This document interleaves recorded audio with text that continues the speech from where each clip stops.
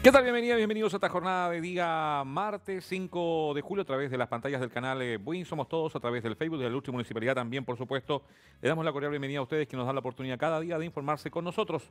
En las últimas horas nos han pasado hechos relevantes, digamos, respecto a lo que es a veces el tema de las noticias, por supuesto, a nivel eh, comunal, pero sí importantes hechos que, por supuesto, marcan la pauta. Esta jornada, eh, de manera sorpresiva, nos enteramos por, la gran cantidad de contingente policial que hubo eh, en el sector de la estación del metro eh, Metro Tren Boinzó, de que ahí bajó el presidente Gabriel Boric, que venía viajando en el Metro Tren, obviamente alguna nota de prensa, algún tema que se cubrió esta jornada y hizo eh, la bajada ahí, por supuesto, en, la estación de Metro Tren Boinzó, que era el lugar más seguro, de acuerdo a lo que indicaba también la policía, en cuanto a que no había, gente, no había tanta gente, ¿cierto? Y, y obviamente estaban ahí los equipos de seguridad desplegados, también la COP de Carabineros, también el GOPE, entre otros que eh, se despliegan para este tipo de temas. Hay personas que nos decían que era como muy exagerado comparado con cuando vino el, expresidente Piñera también a nuestra comuna de Win, al sector de Santa Filomena de Biluco. Bueno, eh, son, son temas distintos también, ¿no? Respecto de lo que ocurre. Eh, estaremos tratando de que en la jornada se actualice la información y entender cuál fue el sentido de ese traslado en el Metro Tren. La jornada del domingo una familia resultó totalmente afectada por eh, el incendio de su mediagua o de su casa de material ligero en el sector de Maipo, la calle eh, Felipe de Neri. Eh, a eso de las 8 de la noche aproximadamente ocurrió este incendio con peligro de propagación a otras viviendas. A pesar de que el municipio hará entrega de dos viviendas a familias afectadas por incendios, eh, también se ha lanzado la campaña de la Lucatón, ah, con el objetivo de que quienes quieran ayudar a esta persona a ponerse de pie. Recordemos que la municipalidad hace entrega de dos viviendas a las familias afectadas, pero no es de un día para otro, sino que toma algunas semanas, por supuesto, eh, el adquirirlas, el que lleguen y el que se instalen. Eh, pero sí la persona quedó, como ustedes pueden ver, de brazos cruzados. En una nota que por supuesto estaremos compartiendo gracias al reporteo de eh, Amantina Meléndez, que nos cuenta el caso de don Luis González. Saludamos a Alejandra Paredes, ¿qué tal Alejandra? Tanto tiempo. Saludamos también a María Aguilera Rojas, em, a Felipe Hernán Berríos, ¿qué tal Felipe? Y a Luz Flores y a Constanza González que están en sintonía. La Feria de las Pulgas se transforma en una acción positiva, por supuesto, para personas que requieren juntar unos pesitos para pagar las cuentas, alimentarse o salir adelante. En el día de hoy, eh, Mirko Geria nos habla de adultos mayores que están siempre atentos a participar en la Feria de las Pulgas, puesto que esta instancia de venta de productos eh, cachureos principalmente, o también, eh, obviamente, algunos elementos que les van donando, le sirve para hacer eh, liquidez y tener algunos recursos para, por supuesto, eh, adquirir medicamentos, alimentos u otros. Es lo que nos cuenta en esta jornada también Mirko Geria. Buenas noticias para los vecinos y vecinas de Las Moreras, un sector no popular de la comuna de Win. ¿Dónde está ubicado? Eh, le vamos a contar. Está la localidad de Alto Jahuel. Lo habitual es cuando uno llega arriba a Alto doble hacia la derecha, donde está la iglesia, donde está el supermercado Unimar eh, y las principales villas, como la eh, Villa Santa Rita y otras, ¿no? Pero bueno, Las Moreras está hacia el otro lado, hacia el sector del colegio. Ahí está este sector, eh, que es un callejón rural principalmente, con altas familias que viven a su interior y que esta jornada, por supuesto, se avanza en mejorar sectores, por supuesto que la gente dice, todo lo hacen en el centro, todo lo hacen en algunos sectores más populares. En este caso, Las Moreras, el sector a intervenir con veredas principalmente y una ejecución ahí de obras que va a mejorar la calidad de vida de las vecinas y vecinos de ese sector. ¿Debiese ajustarse el sueldo de acuerdo a la variación de la UEF? Bueno, Mirko Geria está muy preocupado, puesto que obviamente eh, todos eh, eh, seguimos ganando lo mismo que venimos ganando hace un tiempo, al menos quienes trabajamos bajo cierto canon, cierto económico, y día a día sube la benzina, sube la parafina, eh, sube el gas licuado, eh, suben los alimentos y todas las chilenas y chilenos seguimos ganando casi lo mismo, excepto a quienes se les reajusta el sueldo de acuerdo a el IPC, que año a año se aumenta el sueldo de acuerdo a la variación del IPC anual eh, y tienen una pequeña variación, pero la mayoría no. Entonces Mirko Gería salió a reportear el día de hoy respecto de qué le parece a usted que el sueldo, mm, el sueldo se reajustara en base a cómo la UEF va variando. Sería interesante, estaríamos atentos a eso. Saludos también a Ana Becerra, Marcela Cortés Mena. ¿Qué tal, Marcela? Tanto tiempo ahí, por supuesto, en la calle Bella Vista de Maipo. Saludos también a Beatriz García y Alejandra que nos dice, hola, buenas tardes a todo el equipo. La jornada de este lunes partió el parque de juegos inflables con niñas y niños que llegaron para participar de esta actividad. Es totalmente gratuito por orden de llegada. En la mañana de 11 a 1 y la tarde de 3 a 6. Para niños pequeños principalmente pueden disfrutar entre 20 a 30 minutos de actividad totalmente gratuita y recreativa en el lugar. Todo va a depender de cuánta cantidad de niños haya, por supuesto, en espera, para ver si son 20 minutos o 30 minutos. A esto se suma a partir del lunes también el parque de juegos mecánicos que estará durante dos semanas. Así que actividades para vacaciones de invierno es parte de lo que ofrece la gestión eh, de, por supuesto, la municipalidad de Buin. Saludos a Segundo Riveros que nos dice, hola, buenas tardes, equipo de trabajo. En Buin somos todos. Muchas gracias, Segundo, por estar en sintonía e informarte con nosotros. Dos casas resultaron totalmente destruidas a causa del fuego la jornada de este domingo en la calle Felipe de Neri con Las Delicias, esto es en la localidad del pueblo histórico de Maipo.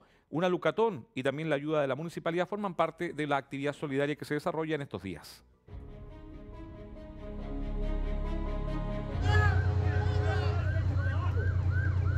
Con estas imágenes terminaban la jornada este fin de semana los equipos de seguridad.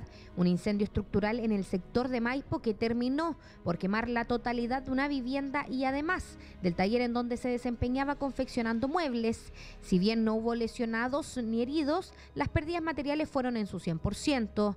Bomberos al controlar la emergencia indican que dicho incendio fue ocasionado por elemento de calefacción artesanal tipo brasero totalmente todo, todo, todo, no, no, se rescató nada, nada, perdí todo de, año y lucha, no perdí todo, en, en, cuanto en un segundo.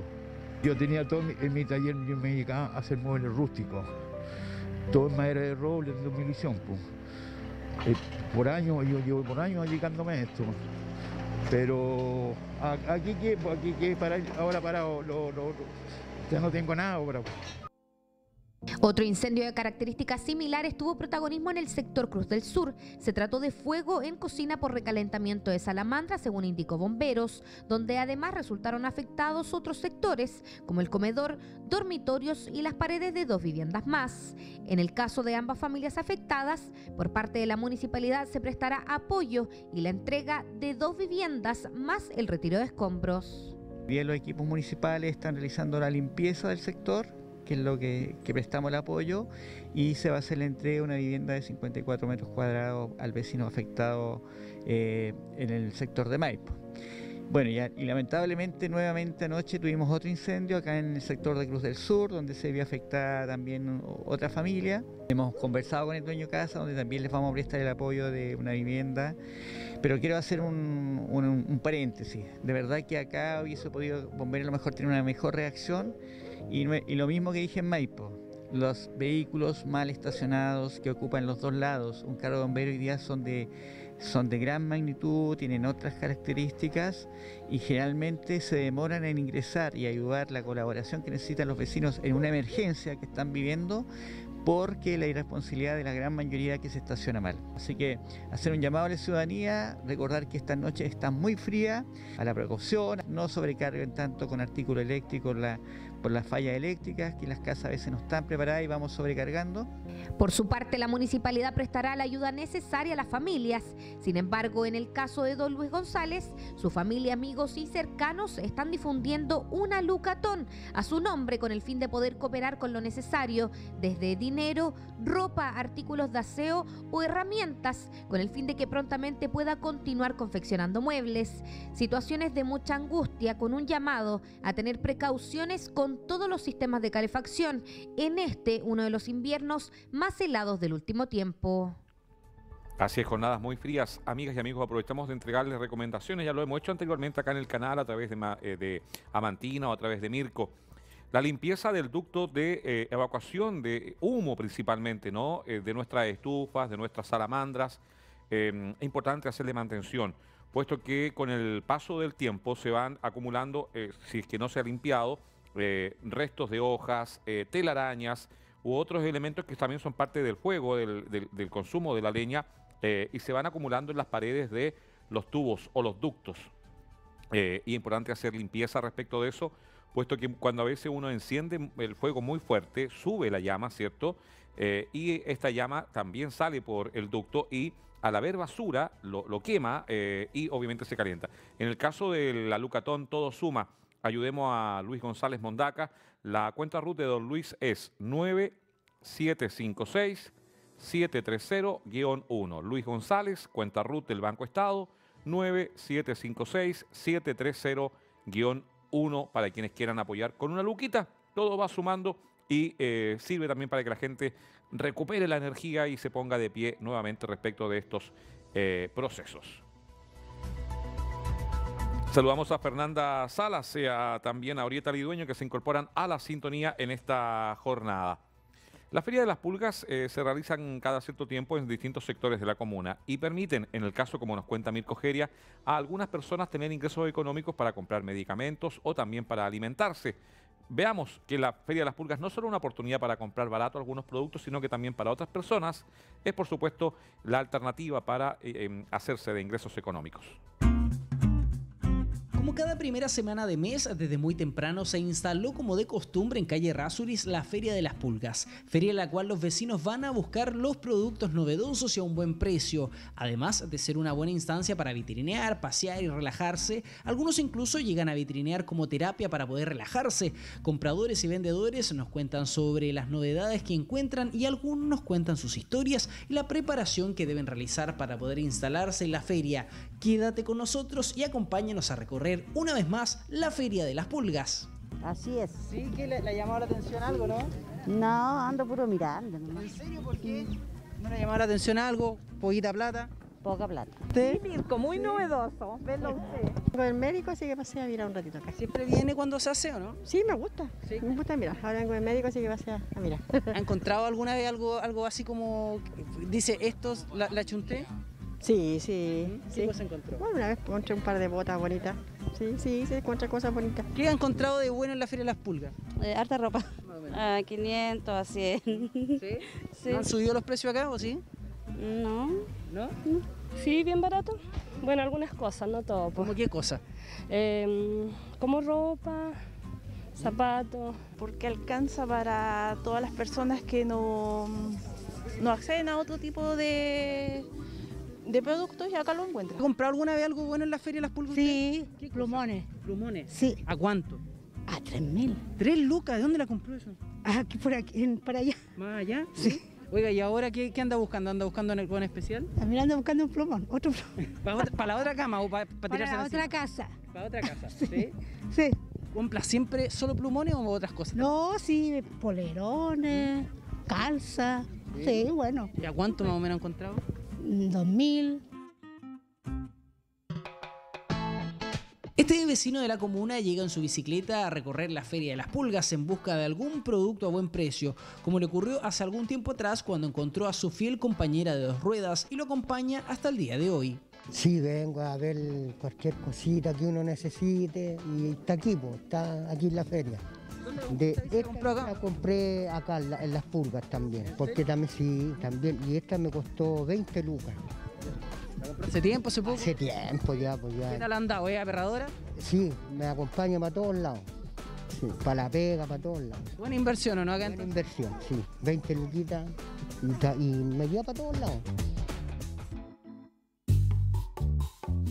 La señora Carmen Carrasco lleva muchos años en la Feria Rasuris, tanto en la Feria de Verduras como en la Feria de las Pulgas. Es la encargada de vender desayunos y en esta oportunidad nos cuenta un poco sobre esta dinámica. Bien, la gente tempranito llega a tomar desayuno, cafecito, la sopaipilla, ideales para el frío, tú sabes.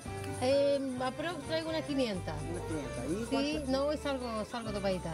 Ah, sopaipilla, empanada de pino, té, café, me encanta.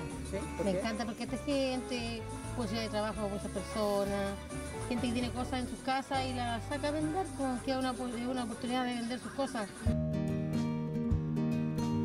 También conoceremos la historia de la tocaya de Carmencita que vende desayunos. Esta es la historia de la señora Carmen Carrasco, una mujer luchadora de 73 años de edad que lleva un tiempo dedicándose a la venta de productos en la feria.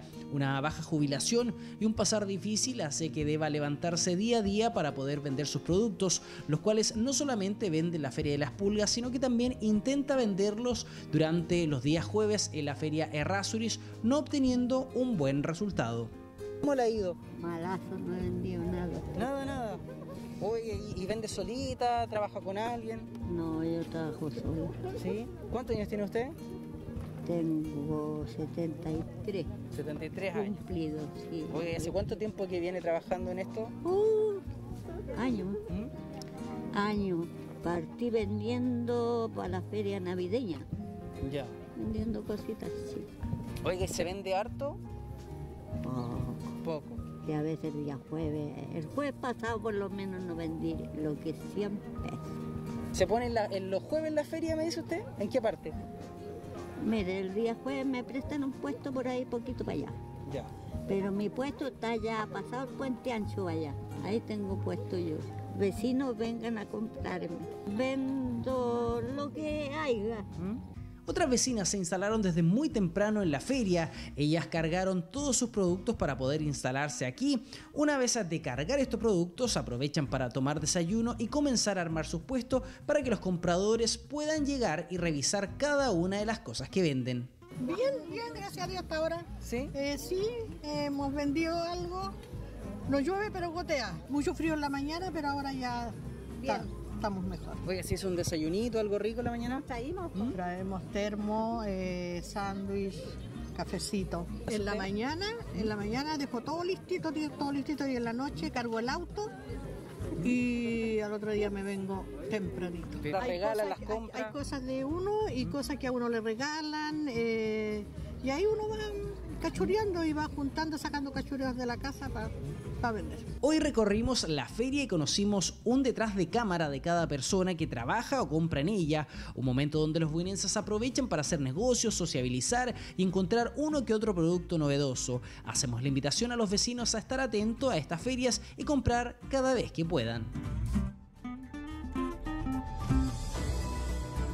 Bueno, se da también ahí otra señal importante de lo que está ocurriendo en nuestro país, ah, que tiene que ver con un principio de recesión económica, en la cual las personas dejan de hacer ciertos gastos principalmente y comienzan a eh, priorizar, principalmente ahora, por ejemplo, la alimentación, la calefacción principalmente, y lo que indicaba ella, no, no vendido nada, pero tiene que ver también con eso, con que la gente hoy por hoy está priorizando eh, algunos gastos, sobre todo con el elevado precio de algunos y también, por supuesto, eh, con la falta de empleo. Andaba corriendo, ¿ah? por eso me cansé. Seguimos avanzando en esta jornada, por supuesto, acá en el canal Buen Somos Todos. Agradecemos a todas y a todos quienes nos están viendo a esta hora. ¿Se acuerdan que le había contado respecto de- del gobierno, pues, ah, del, del presidente Boric, que se bajó en el metrotren del Buinzó, que era un lugar muy seguro? ¿Qué pasó? Bueno, ahí dice la nota del diario financiero. Boric reafirma compromiso de reactivar la red ferroviaria y abrir la ruta Santiago-Valparaíso. En el inicio del programa Vacaciones para la Tercera Edad, el jefe de Estado señaló que nos comprometimos a triplicar la cantidad de pasajeros que se transportan en trenes y vamos a construir nuevas rutas. Ahí está el concepto de qué ocurrió esta jornada. Mejorar las condiciones de vecinas y vecinos con eh, obras es clave e importante. Esta jornada el alcalde de la comuna estuvo en la localidad de Alto Jahuel y específicamente en Las Moreras.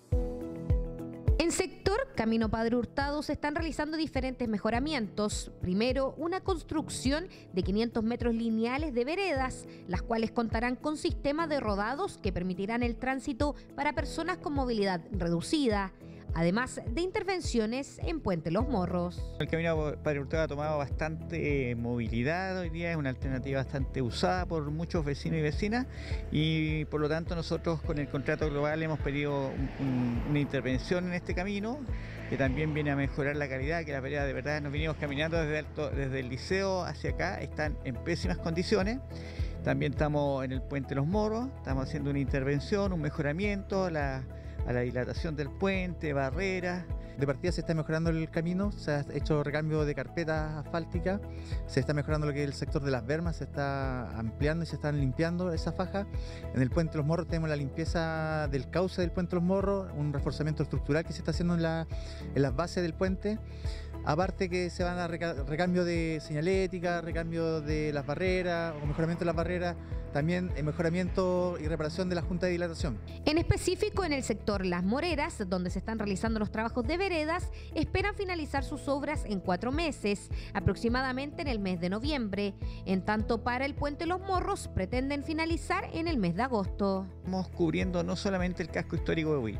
Claro, se nota más porque estamos todos los días, todos llegamos al centro Win, pero ustedes ven que Las Moreras es un sector acá frente a la Viña Santa Rita, que es un sector bien alejado, que no tenemos tanta vivienda, pero sí también necesita mejoramiento de las veredas. También indicarle a los vecinos que puedan respetar las medidas de la señalética y las condiciones y también avisarle que van a estar como están haciendo trabajo. Siempre va a estar disponible el tránsito, pero lo más probable es que estén segmentados en algunos tramos que se, se corte el tránsito y se, se meta una calzada y esperando que la otra se habilite.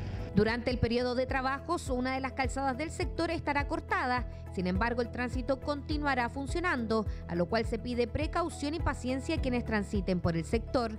Recordar que estos trabajos se suman a los demás realizados en la comuna, como el casco histórico o Maipo, donde el objetivo es hacer de Buin una comuna libre en tránsito peatonal e inclusiva.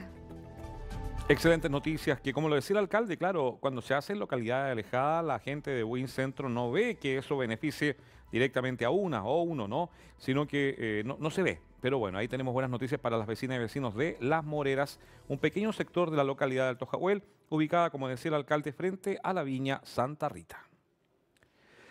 Suben los precios, eh, sube el costo de la vida, suben los arriendos y ahora más si es que se llega a aprobar la reforma tributaria del actual gobierno puesto que los arrendatarios, eh, quienes tienen una segunda vivienda y la arriendan, eh, deberán pagar impuestos.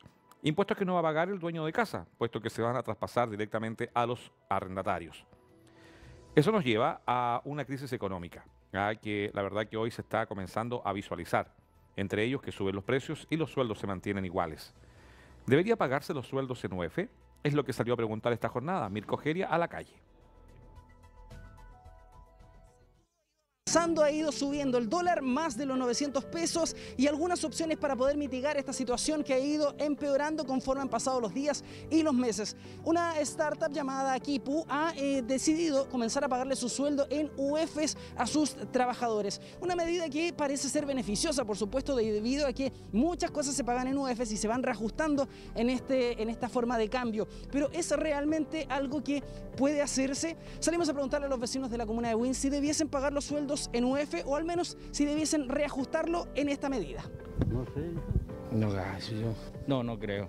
No, porque sube mucho, digamos, y los sueldos van a ir a, la, a las nubes, digamos, y las empresas van a empezar a despedir gente. Es la impresión que me queda a mí. Entonces, al final, si tengo cinco trabajadores, me voy a quedar con tres porque no sé cuánto tengo que pagar el próximo mes.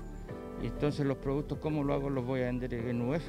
Al final eh, eh, eh, fue una moneda, digamos, fue una, una una moneda, digamos, usada para otra cosa, digamos, y ahora la vamos a usar para otra. Yo creo que no. Podría ser porque como eh, aumenta la UEF, pero los sueldos nomás para que, para que así aumenten, eso está bien. Pero no que las otras cosas en UEF, porque, uh, por ejemplo, un préstamo uno consigue y le sacan el ojo de la cara. Sería, también sería fantástico. Para nosotros sería fantástico que se los pagara en UEF. Obviamente que sí.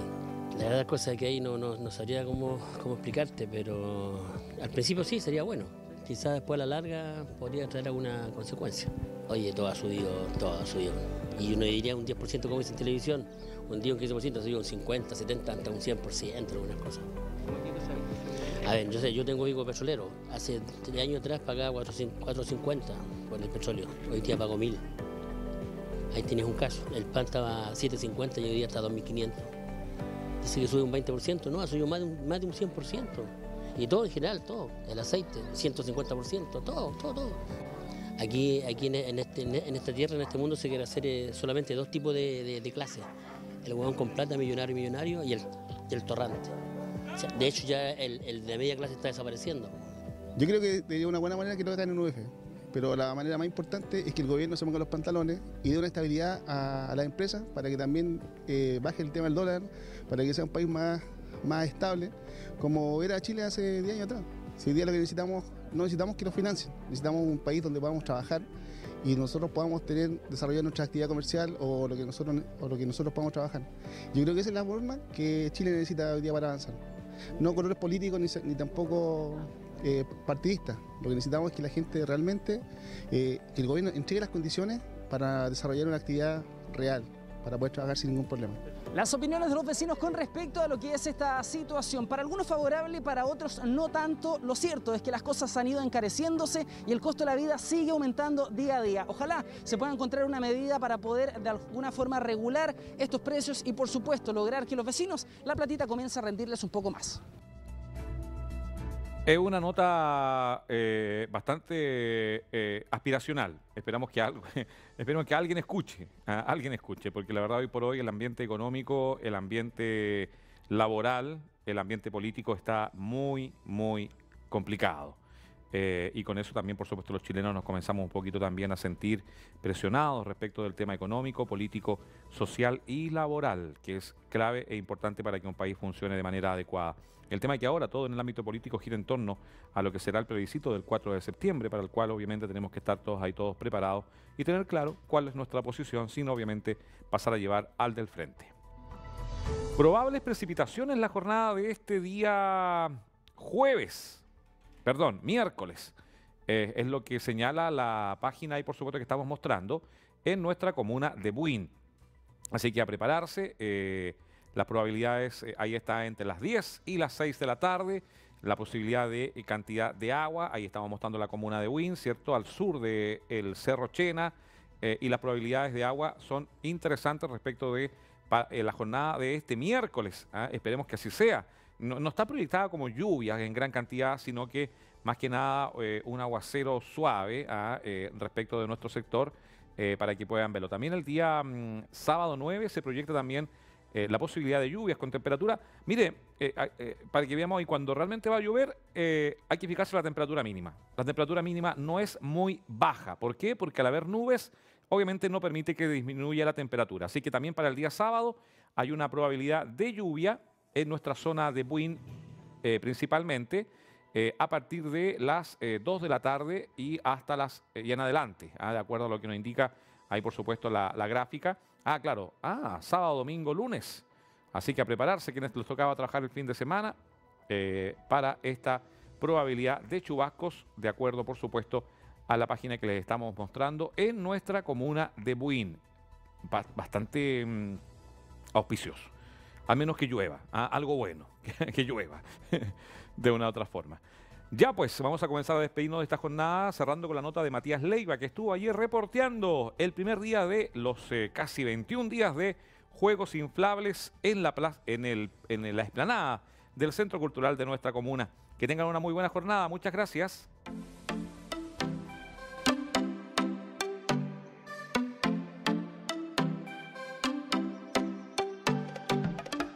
Comenzaron las vacaciones de invierno y las actividades gratuitas ya se encuentran disponibles para los niños y niñas de la comuna. Te comentamos que la explanada del Centro Cultural de Win estarán disponibles todos los días hasta el día 24 de julio los juegos inflables, donde solo debe llegar en los horarios indicados y esperar que las personas a cargo den el ingreso al recinto. ¿Qué opinan los padres e hijos sobre esta actividad de vacaciones de invierno? Es buenísimo, buenísimo, porque así los niños tienen tiempo recreativo, no todo el tiempo están metidos en las redes sociales ni en la tecnología, sino que se pueden distraer, su mente se puede despejar tanto de las clases, del encierro de la pandemia y tantos problemas, y eso se estresa un poco. Está muy divertido, muy bien. Está súper divertido. Feliz de estar acá con los niños más que nada, que lo pasan bien porque tienen muchas semanitas ya, porque ya están muy aburridos ya en la casa, tenemos otros panoramas para salir. Eh, divertida. Muy entretenido para los niños. ¿La recomienda? Sí, pues la recomiendo, 100%. Muy buena, muy buena. Me parece excelente, de verdad. Una oportunidad para que los niños se entretengan y pues, la pasen súper bien. Sí, súper recomendado, de verdad que sí. Excelente, excelente. Mi hijo venía a un taller así que súper, súper entretenido y estaba súper aburrido en la casa, así que excelente. Sí, los años antes, antes de la pandemia, así que me parece excelente que hayan vuelto a hacer las actividades de eh, vacaciones de supuesto, súper recomendado. Excelente alternativa para los niños ya que están pasando momentos fuertes a través de la pandemia.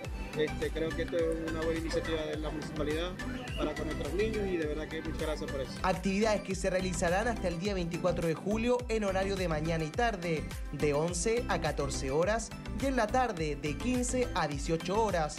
Juegos inflables gratuitos en panorama de vacaciones de invierno. Saludos niñas, felices vacaciones.